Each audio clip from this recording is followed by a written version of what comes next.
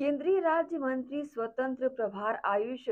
स्वास्थ्य व कल्याण विभाग प्रताप राव जाधव रविवार को बिलासपुर पहुँचे, जहाँ उन्होंने केंद्रीय बजट पर बुद्धिजीवी वर्ग को संबोधित करते हुए केंद्रीय बजट को लेकर कहा ये बजट प्रधानमंत्री नरेंद्र मोदी की तीसरी पारी का पहला बजट रहा, जो कि अपने आप में संपूर्ण एवं सर्वस्पर्शी बजट है। देश का केंद्रीय बजट ज्ञान पर आधारित रहा, जिसमें गरीब, युवा, अन्नदाता और नारी शक्ति का विशेष ध्यान रखा गया। हर वर्ग के उत्थान हेतु इस बजट में कोई न कोई योजना है। इस कार्यक्रम में छत्तीसगढ़ के स्वास्थ्य मंत्री श्याम बिहारी जायसवाल, विधायक अमर अग्रवाल, विधायक सुशांत शुक्ला, भाजपा प्रदेश मीडिया प्रभारी व छत्तीसगढ़ में बजट कार्यक्रमों के समन्वयक अमित चिमनानी उपस्थित रहे।